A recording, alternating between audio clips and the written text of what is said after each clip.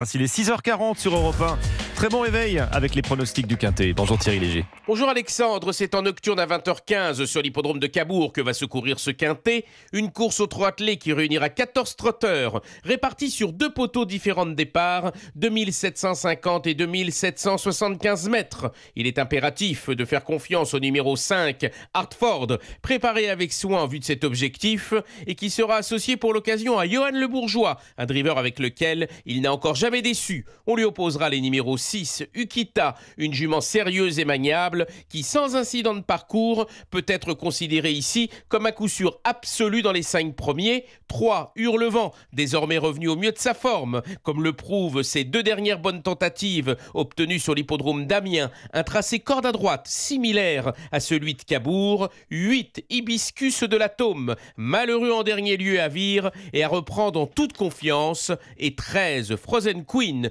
une jument expérimentée et pas incapable ici de revenir accrocher une place à une cote spéculative en dépit de son handicap de 25 mètres. Enfin les numéros 7, Hit de Joby, 1, Hadès de Liton et 10, Emeraturgo compléteront ma sélection. Mon pronostic 5, 6, 3, 8, 13, 7, 1 et 10. Merci Thierry Léger.